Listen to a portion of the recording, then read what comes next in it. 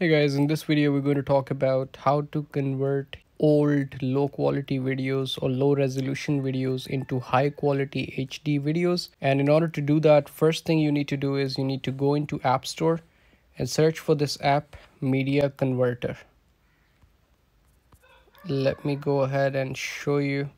So Media Converter, that's the name of the app. You need to search this application and you need to install it on your iPhones you can do the same thing on Android as well. No worries about it. Once the app is installed, you can just open it up.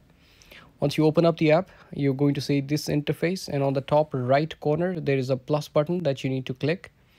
And then from here, you need to choose a video that you want to upscale. Um, and I'll go into re recent videos and I'll just choose one of the videos. So let's say if I choose this video, I've just chosen this video and now what I can do is I can simply go ahead and tap on this I button that's next to it. And it opens up this list. I can go into more and it says convert video.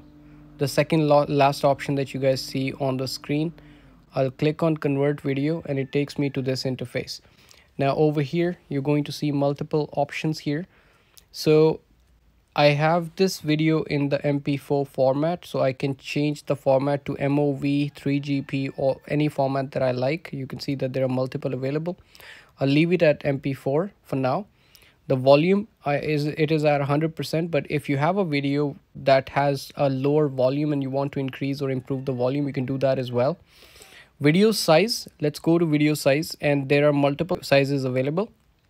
So I can choose a size that fits so let's say if I choose this size and also you can see frame rate. So you need to click frame rate and you need to set it at 60 frames per second, 60 FPS. Now these are all the settings that you actually need to do. And then uh, once it's done, you need to click start conversion.